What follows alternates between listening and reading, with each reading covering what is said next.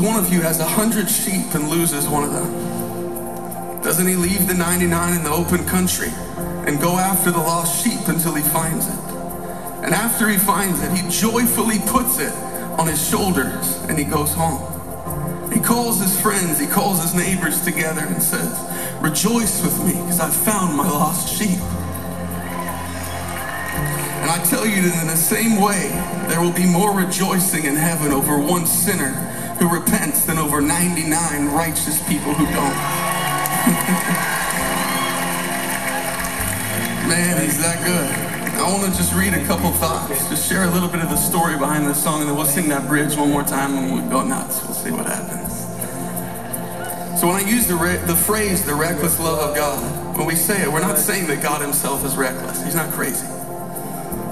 We are, however, saying that the way he loves is, in many regards, quite so. And what I mean is this.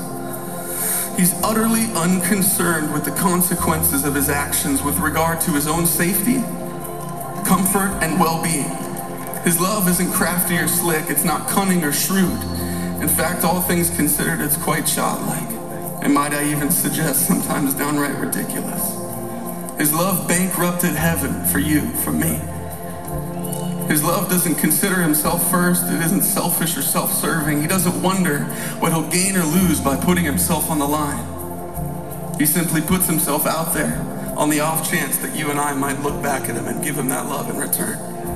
His love leaves the 99 to find the one every time. And to, to many practical adults, that's a foolish concept. But what if he loses the 99 and finding the one, right? What if? Finding that one lost sheep is and will always be supremely important. His love isn't cautious. It's a love that sent his own son to die a gruesome death on a cross. There's no plan B with the love of God. He gives his heart so completely, so preposterously, that if refused, we would think it irreparably broken. Yet he gives himself away again and again and again and again, time and time again. Make no mistake, our sins do pain his heart, and 70 times 7 is a lot of times to get your heart broken. And yet he opens up and allows us back in every single time. His love saw you when you hated him, and all logic said they'll reject me. He said, No, I don't care what it costs me. I lay my life on the line as long as I get their hearts.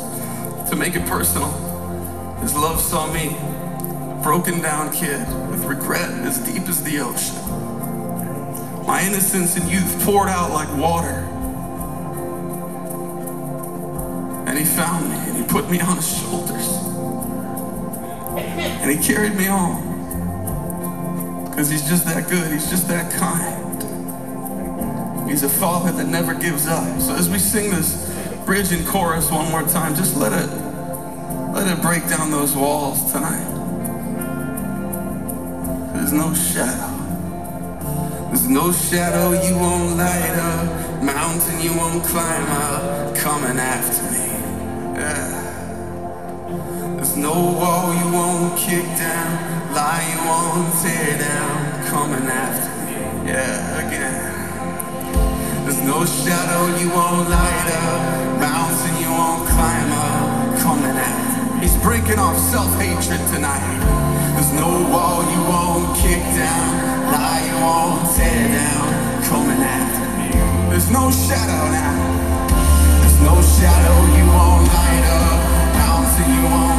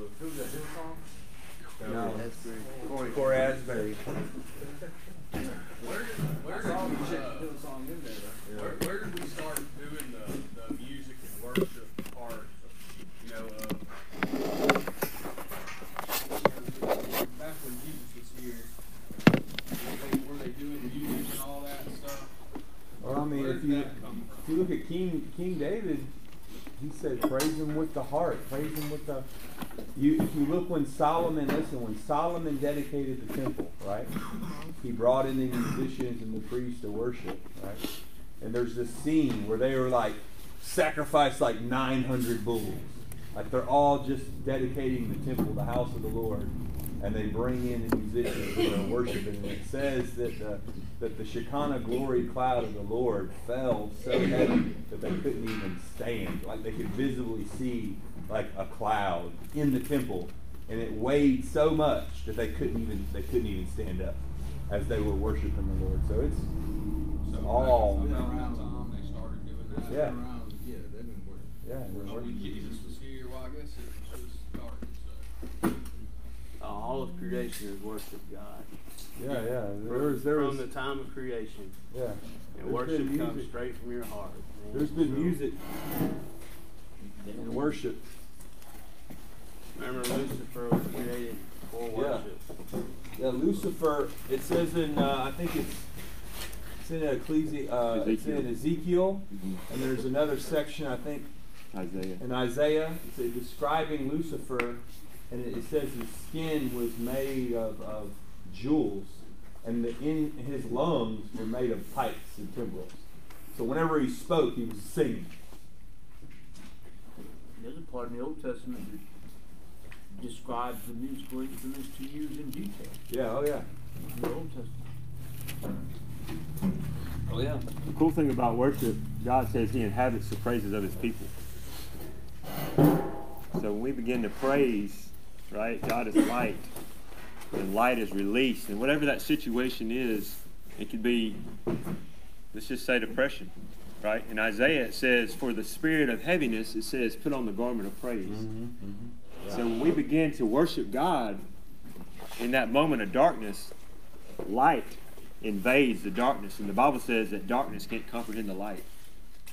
So anytime you're feeling depressed, anxious, worried, upset, anything like that, or even when you feel good, just give God praise and He inhabits that praise. In the Hebrew, it literally says that He comes in your situation on His throne and judges an ambush. So whatever the enemy's bringing against you, man, your praise is your praise is Yeah. the breakthrough. Go ahead. I was in an apartment one time. It was one of the lowest points points in my life, and I, I was thinking of suicide and how I could do this the quickest, most efficient way. And at just uh, just one moment in the middle of that chaos in my head, I felt the Lord tell me, "Just praise me." Hmm. Yeah. And so I stopped what I was doing. I stood up out of my bed. Well, I've been laying in my bed for two days. Stood up and raised my hand and I said, Okay, I'm going to praise you. And I started just thinking of the songs that I could remember, the old school stuff. And I just, it came straight from the heart. I want you to know I found myself on the floor. And I didn't put myself there. But when I came back up, he had totally calmed everything and took away all them thoughts in my head. Amen. And he said, I'm going to restore you. And I held on to that. Amen. Now he's Been there, bro. Been I can right tell there. I can tell you just right this just this morning I woke up kind of uh, stressing about some you know things or whatever, but uh, just boom after worship like you know, got that. I think it's something about presence. when you're putting him, like when he's your focus, really everything else is so small, man. You know what I mean? Like, What you focus on is what you see. yeah. Yeah. Like I'm sitting here tripping about money, but Justin, me and Justin, if Justin comes in, and he's like, "Man, I don't feel too good, but how did Jesus feel going up to that cross?" I'm like, "Man, you're right. Who cares about Who cares about?" I, I tell you how to quit stressing about money. Quit spending so much. Hey, don't tell me that. You better call my wife. So every day I come in, you know, some of y'all wonder why I come in with a smile on my face. You'll never see me sleepwalking coming in. It's because I get up and I praise the Lord Amen. before I come yeah. here. Yeah. And on the way here. And after I get here. You know yeah. So yeah. so good. I, mean, that's, that's my day. Right. You know what I'm saying? Yeah. That's right. I, uh, I, I'm speaking again next week, and uh, I've been really stressing because I've been praying for the Lord to put the topic of conversation kind of been stressing me out. And uh, just listening to him praise and worship, it was it was like a revelation. It was me, and uh, like he said, uh, I I'm not the easy, the best person in the morning. I uh, I've had a lot of trouble, but now that I've been added the responsibility of going to get a brother in the morning, I've been getting up super early. Getting super, up super early in this morning. I, just, I prayed about the revelation, and it came to me. And uh, like yesterday, I was in a bad mood on the way back, and uh, Josh asked me what was wrong, and I told him. And uh, I've been praying for, uh, like, praying for it to be over. And with one phone call, uh, we'll find out today if it gets, uh, if it gets taken care of. But either way, I just feel better about it now, just knowing that, you know, everything happens for a reason. And it was just like, wow. I'm gonna put them in my morning texting list. Oh boy. Three thirty. Hey, you gotta you gotta check out Lee. You gotta check out um, Second Chronicles. I think it's chapter twenty.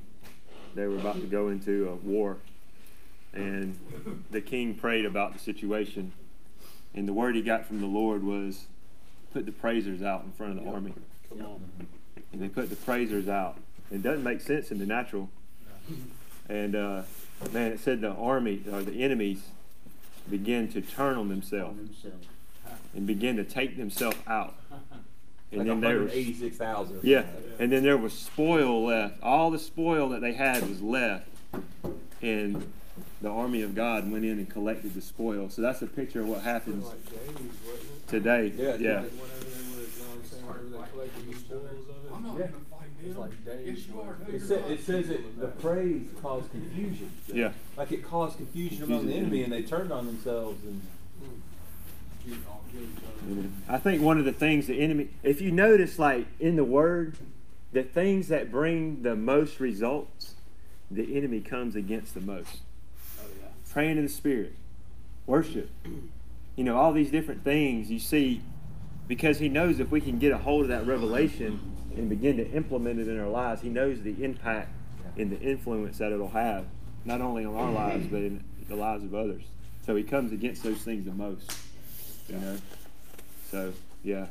We've all felt that way. Like, man, I, I really, I'm feeling the Holy Spirit right now, but I don't know about this dancing around or jumping or, mm-hmm. or shouting or anything like that. I just, I don't want nobody looking at me. Yeah, yeah, You yeah. know, Yeah. yeah, Man. our busyness. Break like with that me, it's off. busyness. Like I'll be setting aside some time, and I'll be I'll be so excited, or I'll even like make it up in my mind. Like I got a whole nother hour before I have to be somewhere, so I'm gonna do this. I'm gonna like read or worship or something, and then man, just busyness creeps in. You're like, what about you got to do this or check that or call this? Mm. Yeah. It get me. Yeah. You know. Amen. So I'm going to say a prayer and then we'll get started. Heavenly Father, we come to you in Jesus' name. We thank you for this this awesome time in your presence. We thank you for just uh, ministering to our hearts this morning through through song and just speaking to our hearts and through your word, just um, reminding us that heaven went bankrupt for each and every one of us, and we're so thankful that you you gave. You didn't just give anything for us. You gave your very best, and we're so grateful for that. And Father, my prayer for myself and everyone else, people here and people watching, is that the same way that you gave your very best, that we would give our very best. Um, you said to present our bodies a li- living sacrifice, which is our reasonable service, and I just pray that we would do that, just just because, just because you loved us first. And Father, we we're just grateful just for the opportunity. Many countries, in many places, they're not able to do what we're doing right here um, in this awesome country, and we, we're thankful for that. We're thankful for the freedom that we have to worship you in spirit and in truth, and we're just grateful. We thank you for a, a word today, straight from heaven. We receive it by faith, and we say thank you in advance. It's in Jesus' name we pray. Amen. Amen. So. love is the key. You know, love is the key. Love is what it's all about. And we talked. We've talked several times about this week. We've talked about in, in weeks prior to this. We've talked about this glory, this end time glory that God is pouring out on the church, in the church, and on the church. And uh, I just want to look at a, a prophecy that was made real quick, just to cast some vision. And we're going to go over to uh, let's go over to Haggai. Let's go over to Haggai real quick. This is right before Zechariah What chapter? One or two? uh, 2. Haggai chapter 2, verse 6.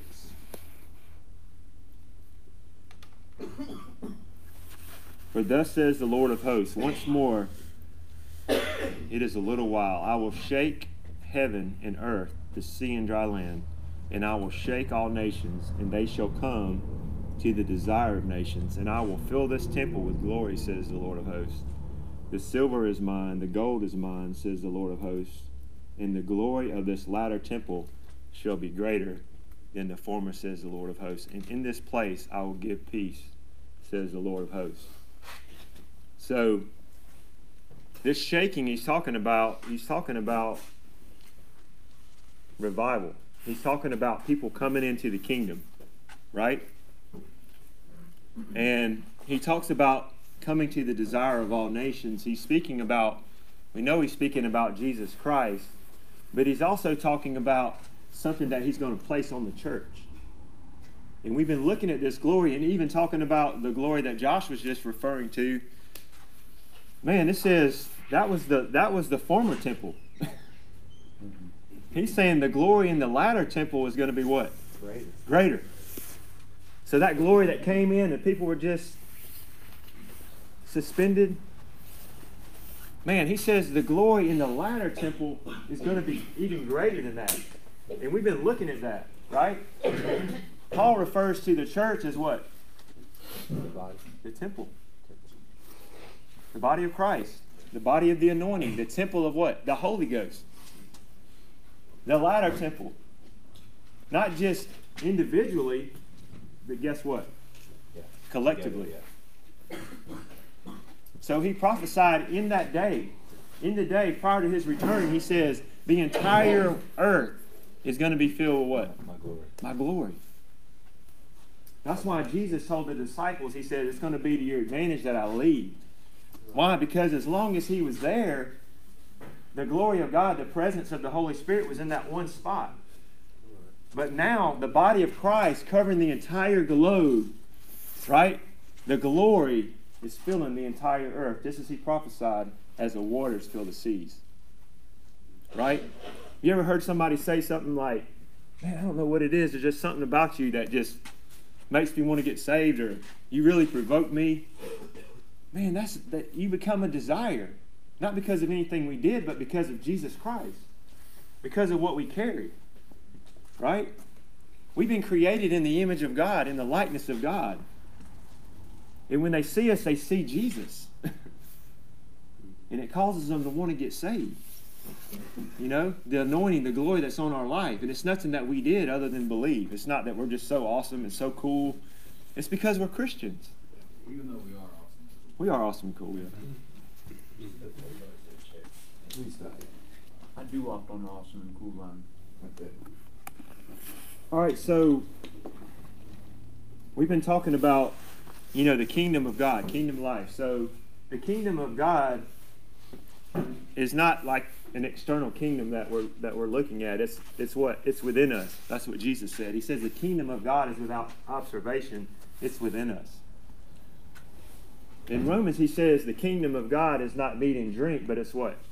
Righteousness, peace, and joy. Where? In the Holy Spirit. In Matthew, Jesus says to seek the kingdom first, and then what? And all its righteousness. And all things Then Amen. Seek the kingdom of God and His righteousness, and that's what we've been doing, right? We've been studying righteousness.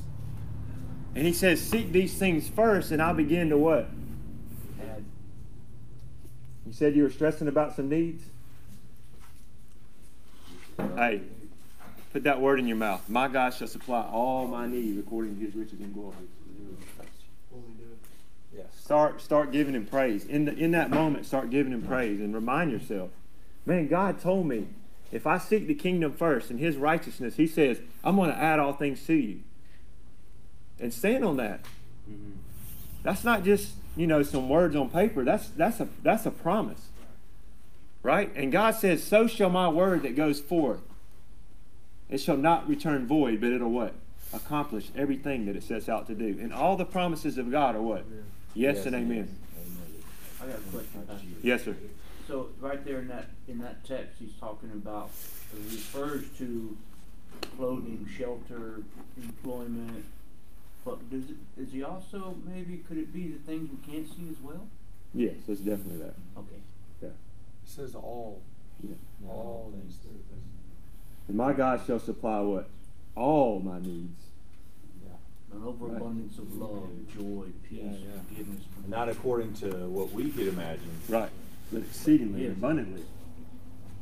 And then According to his riches. he not only watch this, he not only meets all our needs. In Psalms 23 says what? The Lord is my shepherd, I shall not One. Hello. I'm not talking about all our wants, but he will. You know, just the overflow, just surplus. And you know, it's not about building us up, it's about building up God's kingdom. Yeah. We got to be faithful over God's kingdom. And that's where the blessing is. You know, we can you can get out of balance with that real quick and get over in the ditch, you know, but it's all about building God's kingdom. That's what he says. Seek ye first the kingdom of God. Not Chris's kingdom or Josh's kingdom or Jeff's kingdom or Joe's kingdom. Or, no, seek ye first the kingdom of God and then what? He'll add these things. Things needed to build the kingdom. Amen. Amen. And then as we're faithful, the Bible says, as we're faithful over the little things, he'll make us what? Faithful over more. Yeah. Our more. So we've got to be faithful right where we're at. It's called stewardship. If we want to move into the bigger, if we want to move into the exceedingly and the abundantly, we have to be faithful in the season that we're in right now. And it's not even really about wanting to. It's about being content with such things as you have. Yes. being faithful in those Amen. things. Amen. And then that's where promotion. Heart posture. Yeah. I mean, it's very simple. If you don't have it, you're not ready for it. So just chill. Yeah. Pump the brakes. Amen. Don't the, the Bible says this, don't despise the day of small beginnings. Right. Yeah. You got to start somewhere. Yeah. A lot of times, like we said this before, we see the oak tree and we want it, we want it now. But we, we need to go into that acorn season. You know, a lot of people they step over the acorn trying to get to the oak tree, and God said, No, I need you to go through the process. I need you to blossom where you're planted, right? You can't have a harvest if you ain't cultivated your field. Amen. Yeah, you gotta- Amen. So, a lot of a lot of the things that we've been talking about, and a lot of the things that we've been sharing, is, I believe, just from what I've heard and what I've seen, is a little different than what tradition might teach you. You know, um, let's let's look at our the little handout that I gave you guys yesterday.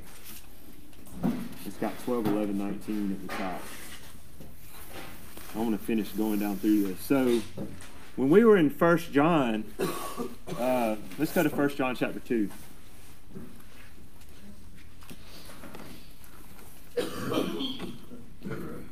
First John chapter two.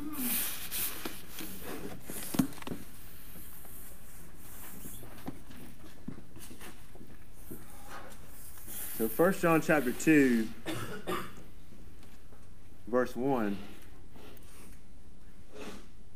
John says, My little children, these things I write to you so that you what? May not sin. Right? That kills that that kills that crutch of Romans 7 that a lot of people like to hang on to, where they take Romans 7 out of context and say, Oh, I'm just going to always miss it. I'll never, oh, you can't live a life without sin. What do you mean? Only Jesus could do that. And I'm not saying never making a mistake, you know, but I'm saying as we grow in Christ, those mistakes are going to get less and less. as we grow and as we mature, right? We can't stay at an infant stage in Christ forever. We have to grow up, right? We don't have to, but we need to. If we really want to step, like we were just saying, if we really want to step into the more, right? The more of God, then we have to be faithful in where we're at now, and then we'll be promoted. So he says, These things I write to you so that you may not sin. And prior to that, we looked at how he was talking about confessing our sins and what? Entering into the kingdom and being cleansed of all unrighteousness. So if we've been cleansed of all unrighteousness, what does that lead? Righteousness. And the fruit of righteousness is what? Holiness. Holiness. Yeah. We learned that in Romans chapter 8. Romans, or no, Romans 6, I'm sorry. Romans chapter 6. We learned that in Romans 6. The fruit of righteousness is holiness. So let's come on down. He says, and if anyone sins. See that? It doesn't say, and when we sin, it says, and if anyone sins. Then we have an advocate. So it's not a license to just say, all right, I could just do what I want to do and just live how I want to live. He's saying, no. Go ahead, brother. In King James it says, My little children, these things write I unto you, that ye sin not. Amen. Yeah. Yeah, that's the first part of it. Yep. Mm-hmm. Amen. Yeah. So that's a little drives it more home to me that you may not sin. Yeah. That may is a permissive word. Sin Yeah. not. Right. Amen. In the parable of the lost sheep, in one version it says that he leaves the 99 for they do not need to repent. They're not needing to repent, that means they have not sinned.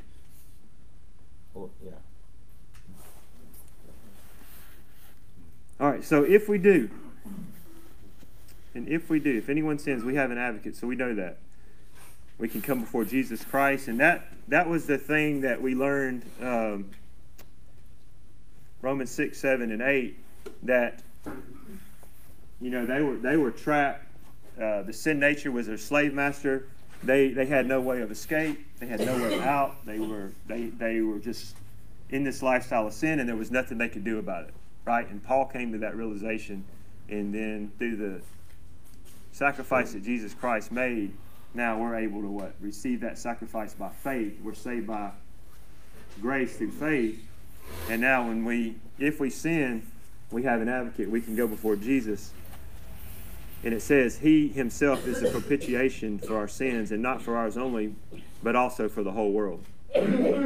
Right? And that's the that's the good news, you know, that you know, God's not mad at you. He sent his son to die for you. And now everyone in this world has that opportunity to come in to come into the kingdom. So watch this. Verse 3 in my Bible, it says the, the title of this next section is The Test of Knowing Him. And it says, Now by this we know that we know Him if we keep His commandments. So now he's talking, he's going down and he's talking about, he's elaborating on what, what he just said that I write to you, I write these things to you that you what? That you sin not. And now he's saying, this is how you know this is how you know if a person knows Jesus. It doesn't say this is how you know if a man or woman is going to heaven. Right? Mm-hmm. He says, This is how we know that you know him. In other words, this is how we know if you're spending time with him and you're in relationship with him. What happens when we spend time with the Father? When we abide in the vine? We get to know him. We get to know him, and what hap- what's the result of knowing him? The intimacy. We're being made like him. the fruit. We're made like Him, and and God is what? God is love. And we start doing the things that he did. Amen. Start- I mean, it just happens naturally. It's not a work. It's just, Yeah, it's you spend time with him. right. Yeah. You get to dwell in the secret place of the Most High. Amen. When you spend time with that. And His commandments are what? Love him. Love your neighbor. Amen. It's that simple. love. That's Love. his commandment. Love. But I love the, the, the new commandment he left. It's okay, it's easy to say love him, love your neighbor, but he also says I leave a new commandment, love others like I have loved you. Yeah, that's that raises the bar. Yeah. That's right. He's not talking about a brotherly love or you know, he's talking about agape, Agape love, Yeah. yes. Unconditional, reckless love. Yeah, Sacrificial love. Right. So when we look at so when we look at um, Romans five five, it says the love of God has been shed abroad in our hearts by the Holy Ghost, and that word love right there, the love of God, is agape love, and that's the the new heart we've been talking about in Ezekiel chapter thirty six. That's that new heart of agape love. So until we were born again, like if we could just put a, a, a pin in our timeline of when we were born again and think about every relationship that we may have had before that, we weren't even capable of having the love of God No, before the new birth. What is it, God? It's God's unconditional, unconditional love. It's the love of God. no If you look no in the- strings attached. Yeah. Just The New Testament, the New Testament lists the word love like 300 and something times, but there's five different words. There's like eros and uh, you know, I mean, brotherly love, uh, yeah, brother you uh, love you have for your your family, but then there's that agape love, the love of God. So you gotta, I mean, it's it's really kind of generic when you read it in English. You don't really get the full meaning of it until you translate the word from Greek. So. Okay, verse 4. He who says, I know him and does not keep his commandments is a liar, and the truth is not in him. Verse 5. But whoever keeps his word, truly the love of God is perfected in him. By this we know that we are in him. So as we as we walk out this truth, as we walk out love, as we walk our love walk, that love has been perfected in us. And I think it's a picture that we saw in 2 Corinthians 3 where it says we go from glory to glory we're growing we're progressively going. As we as we step out in faith right every day to walk out this love walk that love walk will grow in us more and more and more. Amen. Verse 6 watch this. He who abides in him ought to what? Himself also to walk just as he walked. that's total that's i mean i've heard some stuff in some more traditional type churches and it's total opposite of that Yeah. I want to point something else out right here too. You got to be really careful to understand that this scripture right now that we're reading is being spoken to you directly as an individual. You know, if you start thinking, well, this person or that person, you know what I mean? Mm. Because we, we all we all are at different places in our walk of sanctification. You know what I mean? Right. So for you to take this scripture and go, well, Jeff, he he does this, he must not love God. He, he's not abiding in God. No, th- this scripture is intimately for you, Mhm. directly to you, Mhm. and it, and it should bring us into a place of self-examination. Like, Lord, what can I give you? Because I because I want to abide in you, and I I want this scripture Yeah. to be me. But there is grace for growth. amen You know, Amen. Yeah. just just I can't. I it wouldn't be fair for me to compare everything that I'm doing in the kingdom and how much I love Him and He loves me to someone who was just born again because it, there's grace for that sanctification process. Amen. And it doesn't mean that they don't love Him or abide in Him. It's really the heart posture. Yeah. And sometimes it's just about knowledge. They just haven't. They might be doing something they don't even know yet because they haven't got into that portion of the Word yet. Yes. You know what I mean? So just remember. Uh, This like, is- speak on that too. It's like it's very important that you're not holding judgment over somebody else, especially one who is a believer, because at any moment they could have bathed that in the blood of Jesus. yeah Oh yeah. All right, and you cannot come against a child of His. amen You know what I mean? yeah It's like there are scriptures about that. yeah Coming That's right. against a child of His. Yeah. Better you have a millstone tied around your neck and thrown in the depths of the sea than hurt one of my children. Well, it says, "Judge not, lest ye be judged." Oh, I mean, Yeah. if if Yeah. you want to walk in the agape grace and love of God, then you, then you got to reciprocate judgment. it to your brothers. Yeah, that's it. Amen. And that's what love is. I mean, man, uh, God passed over His judgment by the blood of His Son. Yeah. That's what that's what His love is. And so, for us to abide in Him, Yeah. we we certainly can't. The Scripture is not meant to uh, hit anybody else in the mouth. It's really, even though I do that a lot. I'm sorry. It's really, you know, it's really self-examination yeah. Yeah. This And not- is this is meant for you right now. Yeah, amen. Individually. And if we I feel like if you look at if you look at the life of Jesus who he is Jesus is the standard, the word of God. If you look at Jesus' life and we compare individually, if we compare ourselves to Jesus, there's going to be somewhere that we're missing it. Everybody, Yeah. different levels. So we should always look to Jesus. And that's what Hebrews 12 says. Looking unto Jesus, who is the author, Author and finisher. finisher Don't look at this brother or that brother, and that's comparison kills, right? And it's not about condemnation. It's about self-examination, about looking at Jesus. And it says, as we behold him, we're transformed into that image. You know? And, Well, uh, you're just setting your bar at the person next to you. When your your bar should be the relationship Amen. between you and God. amen. Yeah, now, does that one more thing too? That doesn't mean that if my brother, you know, Galatians six says, "Restore your brother gently." Yes. Right. You know, it doesn't mean if I see my brother off that I can't come up to him and say, "Hey, brother, let me help you. Let me let me help you. Let me encourage you to do the right thing. Let me help you restore." But to judge, you miss the mark. Yeah. Amen.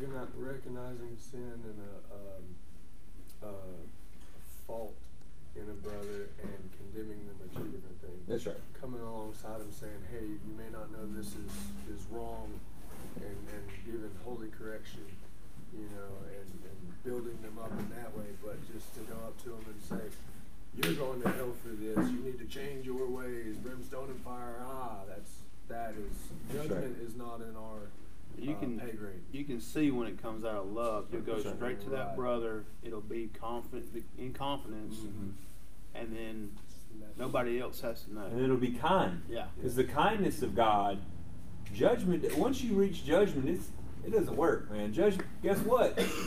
we see the law. Judgment didn't work. Yeah. Judgment brought what? Death. Death. Right. Amen. So what worked? The love, the kindness. Wow. So if we just, you know, not saying we can't approach a, a brother and restore him in love, but we just, you know, the, the heart has to be in the right, the right place. Never in comparison. Yeah. Okay. Let's come on down. Verse 7. Brethren, I write to you no new commandment. Excuse me. I write no new commandment to you, but an old commandment which you have heard from the beginning.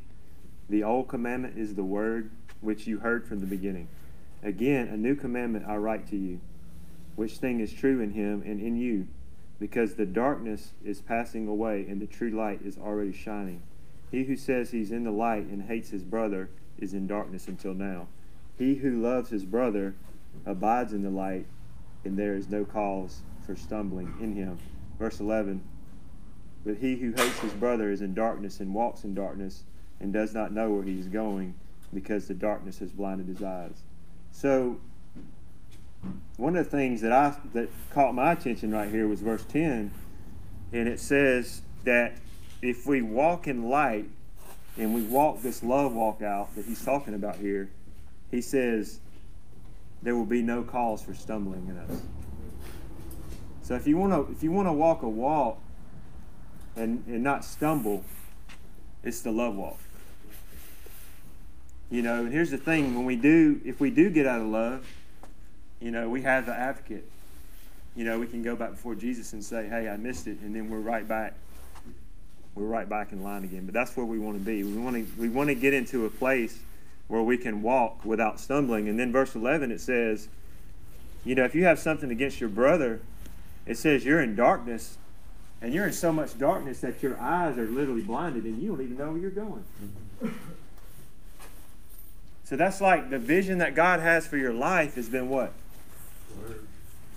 Darkened. It's not that He wants to block the vision, but when you get outside of love, darkness is released, and you can't even. But in that sense, it's not him blocking our vision, but we're blocking our own vision. We're doing it to ourselves. Yeah, yeah. You know, His will, his will is his perfect will. Like he, he wants light. I mean, he wants. He desires fellowship. He desires that we walk in love. He desires that we walk in the light. Mm-hmm. But the Bible says, whatever a man sows, what? That shall he reap. For if he sows into the flesh, he'll reap corruption. But if he sows into the spirit, he'll reap what? Everlasting life. So some key indicators, some practical indicators of this. Like let's say you you start to want to separate yourself. You don't want to be around those people. You don't want to, you know what I'm saying? Like you might need to do a gut check. You know, you don't want to fellowship. You don't you don't really feel like going to church anymore. You know, those people are this or those people are that. You know, if you start to get into that place, you you might want to do a a gut check, a fruit Right. check.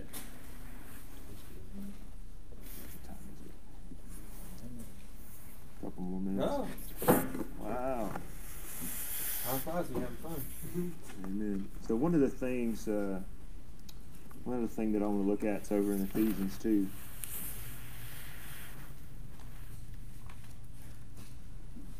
Ephesians two, starting around. This is on your on your handout. Let's just start with verse one and just come down. Ephesians chapter two, verse one. And he, and you, he made alive, you who were dead in trespasses and sins. So you could say, tying into what we've been talking about, we were dead, we had the sin nature, we were lost, and now through the Word of God, through Jesus, He's made us what? He's made us alive. At one time, we were dead in trespasses and sins, in which we used to walk according to the course of this world, according to the prince of the power of the air, the spirit who now works in the sons of disobedience, among whom also we all once conducted ourselves in the lust of our flesh, fulfilling the desires of the flesh and of the mind, and were by nature children of wrath, just as the others. So we, we were all in that place. We were all lost. We were all in darkness. We were all, you know, being led by the wrong spirit. But in verse 4 it says, But God, amen, but God, who is rich in mercy, because of his great love with which he loved us, even when we were dead in trespasses, made us alive together with Christ. By grace you've been saved. Amen. So we, we've made this statement a lot that we weren't we don't we, we didn't work to get saved, but because we are saved, we, we what? We do good work. So this is a good passage that'll tie into that saying. So we weren't saved by works, but it says we were saved by what? When we were dead in our trespasses, we were made alive with Christ by what? Grace. We were brought into the kingdom. Now that we've been brought in the kingdom, it says we have been raised up together and made to sit together in heavenly places with who? With Jesus Christ. We are seated in heavenly places in Christ. And the Bible says we're seated far above every power, principality, right? Every every level of darkness. And then it says every name that's named, we have been seated above that. Right? In heavenly places. That's that's pretty amazing pretty amazing. It's kind of like what comes to mind is yesterday we were talking about how Moses had this glory and he could go up to the mount, but he had to what? He had to come back down and the glory would fade. But we have this position. We've been given this position. Jesus said in the Gospels, He says, I go to prepare a place for you, that where I am, He says, you may be. He said present tense. Where I am, you may be. What was he talking about? A position. Moses had to come back down from the mount, and this says we have been made to what? Sit in. Sit. We can just dwell. We can abide. He who dwells, you brought this up earlier, Justin, Psalm 91. He who dwells in the secret place of the Most High shall what? Abide under the shadow of the Almighty. And we're seated in that place. We're seated in heavenly places in Christ. So what? For what reason? That in the ages to come, he might show the exceeding riches of his grace in his kindness towards us in Christ Jesus. Why? Because it's his goodness and kindness that leads people to repentance. We just talked about that. Right? Yes. For by grace you have been saved through faith, and not of yourselves. It is the gift of God, not of works, lest anyone should boast. Watch this, verse 10. We weren't saved by works, but watch this. For we are his workmanship, created in Christ Jesus for what? Good works. See that? We were saved by grace, not works, but we were created and saved for what? That we might do good works, which God had prepo- prepared beforehand that we should walk in them. To make it practical, the same thing we talked about in 1 John 2. If we abide in Him, we'll what? We'll walk just as He walked. We'll walk just as He walked. And how did He walk? He walked in good works.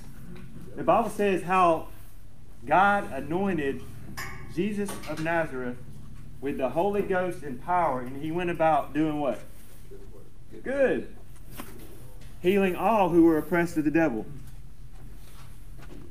So this whole thing, I'm just a man. You know, I'm just gonna make mistakes. That's that's just no. That's the devil's lie. That is a lie from hell. Like I remember um, somebody tried to make this statement one time. Oh, every man lusts over women. That's not true. That's not true. Every man masturbates. Every man looks at theme books. That's not true. That's not true for me. I don't. I'm not. I'm speaking for myself. When I got, when I came into the kingdom, I threw that stuff on the altar and I never looked back. I never went back. I can honestly say that before you. I'm not saying those thoughts hadn't tried to come, but you got to guard your heart. You got to guard your mind. Got to conform in the image. Man, there's a there's a way that God's calling us is, is holiness. He says, God told the church, He said, What? Come out of the world. Come out. Set your things on think, set your mind on things above. Your eye singular, Yeah. If your eye is singular, you'll be what? full of light. Flooded with light. So it can be done. And he's saying, I have created you. I have recreated you not to live in your own way of life, but he says, I have created you for what? Good works. That you should walk in them. Wow, when, when people see you, when people see the transformation, when they see your new life, man, they want that. They desire that. It makes them want to get saved and come in the kingdom. Amen. So, When we wear that armor, we can, we can ward off any attack from the devil. amen. Is this the relationship?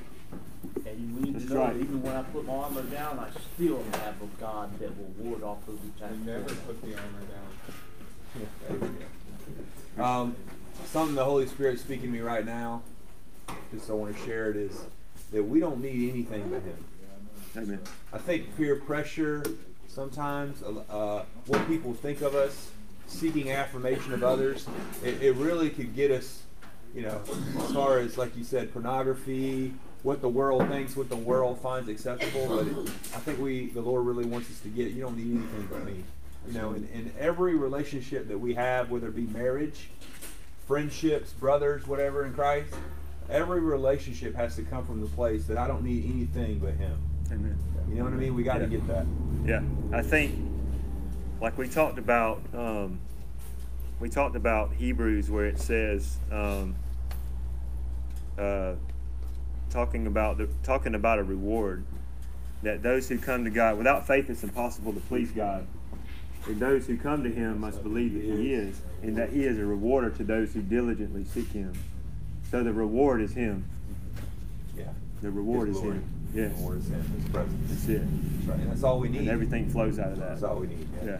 And every and every relationship that we have has to come from that place of His presence because we'll we'll just get so caught up into confirmation, like needing confirmation, and then it's just really setting ourselves up uh, for failure.